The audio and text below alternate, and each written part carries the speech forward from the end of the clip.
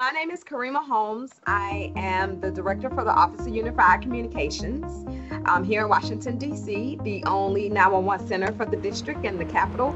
We're here 24 7, 365 days a year. We are the lifeline. During COVID, both our 911 and 311 was um, changed and we were able to adapt to this change quickly. On the 911 side, they were responsible for asking more questions about what space our responders were going into for two reasons. One reason is to assess the caller, the patient, and then the other reason is to protect our first responders.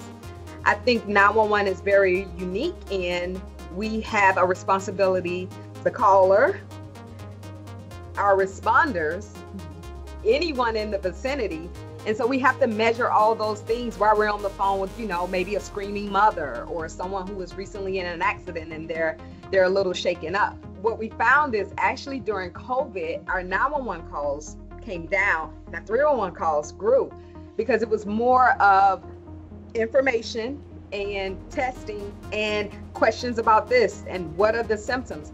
And our mayor was able to plug in the use of 311 during those times. The resources that were set up with DC Health, with our Department of Human Services, um, our mayor's office setting up whether it was testing sites or nurses or anyone that was responsible for giving tests or getting your test results. Instead of throwing out all these different numbers, we were able to say call 311.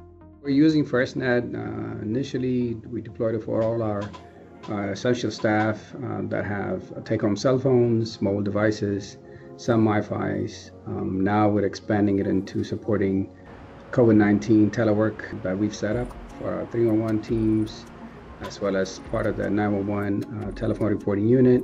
When FirstNet was available, we partner up with Octo, our Chief Technology Office, our Homeland Security Emergency, Emergency Management Office, to work on testing it out in large events, crowded spaces, uh, uh, and events where there are large gatherings of folks and uh, places and times where we had issues getting through uh, commercial networks. Um, and I believe we were able to do some really good testing and validate the capabilities, uh, which also helped in making some of the decisions we did to start rolling rolling out FirstNet. We have a staff of about 73 call takers and six management staff.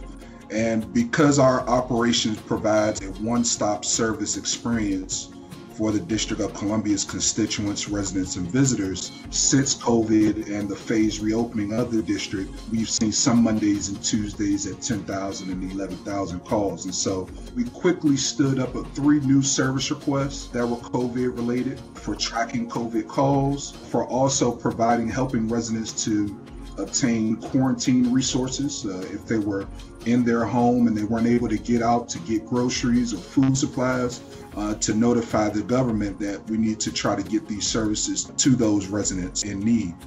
The telephone reporting unit is a division within the 911 operations.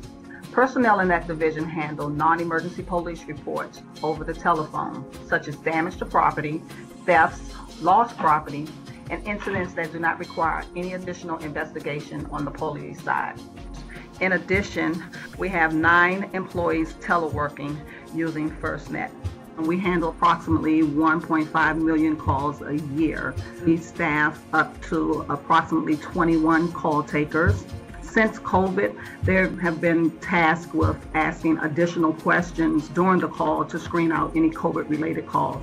So, for example, a caller calls in to report um, shortness of breath. That is a symptom of COVID. So, the call takers are required to ask additional questions. And if they identify that call as a COVID related call, then there's a notate the um, call slip to indicate PPE advised. And then that information is relayed by the dispatchers vocally to our first responders so that they assess the scene with their personal protective equipment.